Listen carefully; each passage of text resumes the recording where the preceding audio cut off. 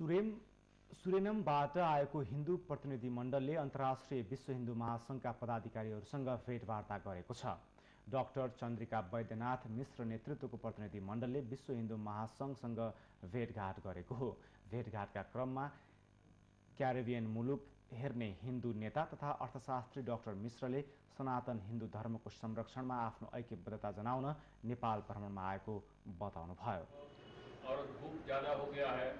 कितना धीरे धीरे कम कम पानी पीना चाहिए, उस तरह से हम हिंदू धर्म को सीख रहे हैं कि हमारे दीपावली जो दिया भरे हुए अंदर में, वो आगे न बदले और हम अपना धर्म को सुरक्षित रख सकें। यही काम हम लोग करते हैं और भलाई करते हैं, जहाँ तक हो सके हम लोग शक्ति और भक्ति से। और आपके सामने यहाँ मैं आज इसी इसी इसी मार्ग से यहाँ सुरेनेमबाट आएको प्रतिनिधिमण्डललाई विश्व हिन्दू महासङ्घका अध्यक्ष हेमबहादुर कार्की हिमालय टेलिभिजनका अध्यक्ष ललित कुमार अग्रवाल लगायतले स्वागत गर्नुभएको थियो।